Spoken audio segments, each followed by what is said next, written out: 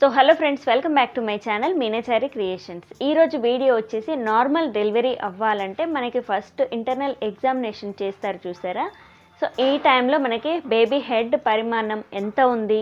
And మాడ ముదిరింది అని చెప్తూ ఉంటారు చూసారా? తల అనేది గట్టిగా అవ్వద్దు అనమాట సో ఇలా గట్టిగా అయింది అని వాళ్ళకి ఎలా తెలుస్తూ ఉంటుంది? ఎన్ని స్కాన్లో కూడా మనకి అర్థమవుతూ ఉంటుంది అనమాట కాకపోతే ఇంటర్నల్ ఎగ్జామినేషన్ చేసినప్పుడు మనకి సర్వికల్ లెంత్ ఎంత ఉండి ఉంది? హెడ్ డౌన్కి వచ్చిందా రాలేదా? అక్కడ ఫిక్స్ అయిందా లేదా అనేది వాళ్ళకి అర్థమవుతూ ఉంటుంది.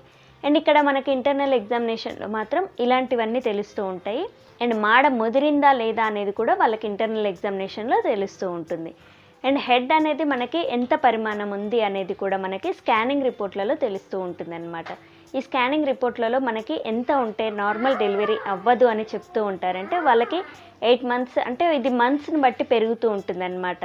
పెరగడం తగ్గడం ఇది అవుతూ ఉంటుంది. మ్యాక్సిమం అయితే పెరుగుతూ ఉంటుంది. ఒకవేళ తగ్గితే మాత్రం మనకి హెడ్ పరిమాణం అనేది తగ్గొద్దు.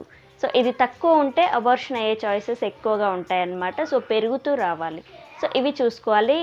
నేను హెచ్సిఏసిఎఫ్ఎల్ ఇవి చెప్పాను కదా అక్కడ తెలుస్తుందండి మనకి తల పరిమాణం ఎంత ఉందనేది అక్కడ తెలుస్తుంది. నేను కాకపోతే ఇంకొక టూ త్రీ డేస్లో నేను ఆ రిపోర్ట్ కూడా మళ్ళీ ఒకసారి చూపించి ఎంత పరిమాణం ఉండాలనేసి అంటే ఏ వీక్లో ఎంత ఉండాలని ఒక పట్టిక రూపంలో మీకు క్లియర్గా చెప్తాను. అప్పుడు ఇంకా క్లారిటీగా ఉంటుందన్నమాట.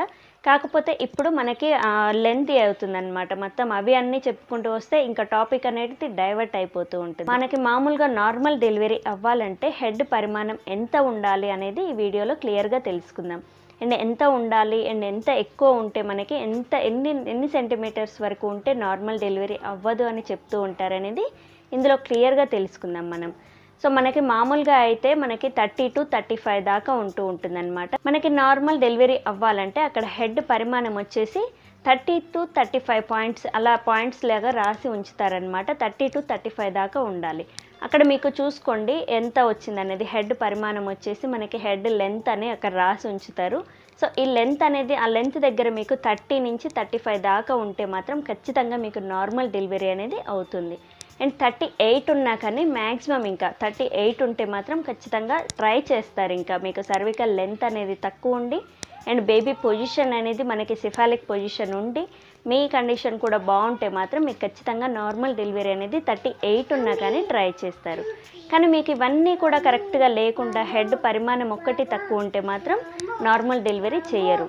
సో మనకి సిఫాలిక్ పొజిషన్ ఉండి ఇవన్నీ ఉన్నాక థర్టీ ఎయిట్ ఉంటే మాత్రం సిఫాలిక్ పొజిషన్ ఉండి సర్వికల్ లెంత్ అనేది తక్కువ ఉండి సర్విక్స్ టెన్ ఇంచెస్ ఓపెన్ అయితే మాత్రం మీకు ఖచ్చితంగా థర్టీ ఎయిట్ ఉన్నా కానీ నార్మల్ డెలివరీ కోసం ట్రై చేస్తారనమాట సో ఇవన్నీ కాకుండా బేబీ పొజిషన్ అనేది బాగా లేకుండా ఉండి థర్టీ ఫైవ్ ఉన్నా కానీ మనకి నార్మల్ డెలివరీ అనేది చేయరు సో ఇలా చూసుకోవాలి మీరు. మీకు ఎంతవరకు ఉందో చూసుకోండి. అండ్ థర్టీ ఎయిట్కి అబవ్ ఉంటే మాత్రం మీకు అస్సలు నార్మల్ డెలివరీ అనేది చెయ్యరు. సో ఇంకా మాడ ముదిరింది అని అర్థం అనమాట అందుకే మనకి అక్కడ చెప్తూ ఉంటారు ఇంకా హెడ్ అనేది గట్టిగా అయిపోయింది ఇంకా నార్మల్ డెలివరీ అనేది అవ్వదు అని చెప్తూ ఉంటారు.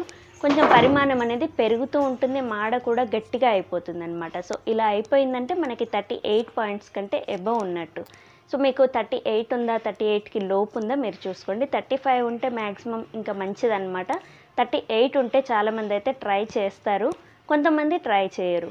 అండ్ ఇది పొజిషన్ అంతా బాగుండి థర్టీ ఎయిట్ ఉంటే మాత్రం ఖచ్చితంగా చేస్తారు. సో ఇలా కొంతమందికి పెరుగుతూ ఉంటుంది. ఎందుకంటే మామూలుగా అయితే అందరికీ ఏం పెరగదు. ఇలా ఎందుకు పెరుగుతూ ఉంటుందంటే మదర్లో కొంచెం ఏమైనా డయాబెటీస్ ప్రాబ్లం ఉంటే మాత్రం ఈ తల పరిమాణం అనేది పెరుగుతూ ఉంటుంది.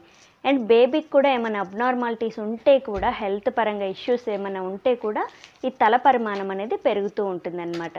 సో ఇలా పెరగడం అంత ఇబ్బంది ఏం కాదు. మనకి ఫార్టీకి ఎబో ఉంటే మాత్రం అది ఇబ్బంది అనమాట సో ఫార్టీ లోపు ఉంటే నార్మలే.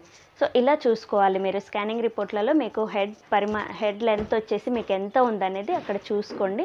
సో నేను చెప్పినట్టుగా ఉంటేనేమో మీకు నార్మల్ డెలివరీ అవుతుంది అండ్ లేదా సిజేరియన్ అవుతుంది. సో దీనికి ఎక్కువ కానీ తక్కువ కానీ ఉంటే మాత్రం ప్రాబ్లం అనమాట మరీ చిన్నగా ఉంటే కూడా మనకి బేబీ ఇంకా అబ్నార్మాలిటీ ఉన్నట్టే. సో బ్రెయిన్లో ఏదైనా ప్రాబ్లం ఉంటే హెడ్ అనేది పెరగకుండా ఉంటుందన్నమాట. సో ఇలా ఉందా ఎలా ఉందా అనేది మీరు క్లియర్గా చూడండి. అండ్ ఇంకా ఈ తల అనేది ఎందుకు ముదురుతూ ఉంటుందంటే థర్టీ ఎయిట్ వీక్స్ అంటే వారాలను బట్టి. మనకి నార్మల్ డెలివరీ అయినా సిజేరియన్ అయినా సరే ఈడీడీకి ముందు మనకి అయితే బెటర్ అనమాట సో ఈడీడీ దాటిపోయినా కానీ నొప్పులు రాకుండా ఉంటాయి చూసారా? వీళ్ళలో తల పరిమాణం అనేది పెరిగిపోతూ ఉంటుందన్నమాట. ఇలా కూడా అవుతూ ఉంటుంది. అండ్ మదర్లో ఏమైనా ప్రాబ్లం ఉన్నా డయాబెటీస్ కానీ బీపీ కానీ థైరాయిడ్ కానీ ఇలాంటివి ఉంటే కూడా కొంచెం పెరిగే చాయిసెస్ ఎక్కువగా ఉంటుందన్నమాట. అండ్ బేబీలో కూడా ఏమైనా ప్రాబ్లం ఉంటే ఇలా పెరుగుతూ ఉంటుంది. మనం నెక్స్ట్ వీడియోలో ఎఫ్ఎల్ఏసి హెచ్సి బీపీడీ గురించి ఇంకొకసారి క్లియర్గా పట్టిక రూపంలో అయితే తెలుసుకుందాం. సో ఇలా తెలుసుకుంటే మీకైతే ఇంకా క్లారిటీగా ఉంటుందన్నమాట. సో ఇలా చూసుకోండి మీరు. సో త ఫార్టీకి అబవ్ ఉంటే థర్టీ ఎయిట్కి అబవ్ ఉంటే మాత్రం మీకు అసలు నార్మల్ డెలివరీ అనేది చేయరనమాట సో చూసారు కదా ఈరోజు వీడియోలో మన నార్మల్ డెలివరీ అవ్వాలంటే మన హెడ్ పరిమాణం అనేది ఎంత ఉండాలి? అండ్ ఆ లెంత్ అనేది మనకి ఎంత ఉంటే నార్మల్ డెలివరీ చేస్తారు? ఎంత ఎక్కువ పాయింట్స్ ఉంటే మనకి నార్మల్ డెలివరీ చెయ్యరు అనేది ఈరోజు క్లియర్గా తెలుసుకున్నాం కదా? సో రేపటి వీడియోలో ఇంకొక మంచి టాపిక్తో మేము ముందుకు వస్తాను. Thank you. Please subscribe my channel Meenachari creations. Thank you.